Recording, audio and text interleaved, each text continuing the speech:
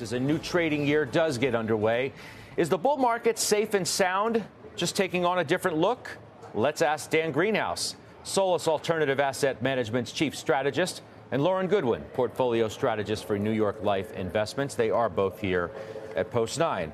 Uh, so let me ask you first, Dan. Do, do you think the bull market is intact? It's just showing its face a little differently. Now, right now, it's a frown. It's, it's, the it's face has a frown. It's amazing because, what one down day will do. You know, we're giving a little bit back, obviously, as we start with the NASDAQ the weakest. Yeah, I, I don't know that I would read too much into to one day. I think, obviously, you could have on all the guys to talk about the Santa Claus rally extending into the new year. Seasonality is still in your favor. January and February are still terrifically strong months. And the function, uh, the, the change in the calendar as a function of the economy or earnings doesn't really make a difference. Uh, I think the bias is still to the upside right here. There's little reason for now to be bearish. Uh, and again, that's just for the immediate future. Uh, and so I think stocks should keep going going higher. I mean, right now the Dow's down by you know 300, uh, or I'm sorry, the Nasdaq's down 300. Uh, just that number just pops out at you because it's leads to the conversation that's really dominated towards the end of the year as we begin now this this new week. Whether this change of makeup of the market is taking shape. I hate being on with Dan because we tend to agree on so much, and that doesn't make for great TV. You're not the only one who hates being on with me, so. um, no, I think that the Magnific- Magnificent Seven have moved higher over the course of 2023 for reasons that don't have a lot to do with a lot of the market narratives that are floating around today around rates and the Fed, et cetera.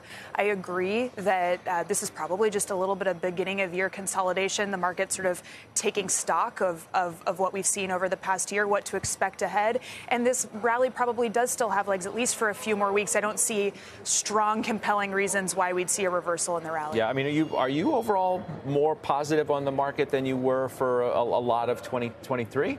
I'm fairly constructive on the market on a very tactical basis, but our economic view hasn't changed a whole lot in the sense that some of the the, the boons, the reason for um, upside surprises over the course of 2023, largely liquidity based, and those are very difficult to anticipate in advance. And I expect expect that the, the Fed tightening cycle that we saw over the course of the year is still likely to bite here in the next few months. But it really, I mean, it's more than that. How, how is it just that? We, we wouldn't be where we are, and certainly we wouldn't have had the broadening out as we ended 2023 without the idea that the economy is going to remain pretty decent. And we may have that soft landing that we've talked about. That talk of recession seems to be in the past for many. That's true, but I think that there's the, the shift in narrative towards a real consensus around soft landing has a lot more to do with the terms people are using than the forecast that they're putting out. Most analysts and economists still expect economic growth to slow. And really, the argument we're having is does it slow slowly or quickly? And are we just below or just above 0%?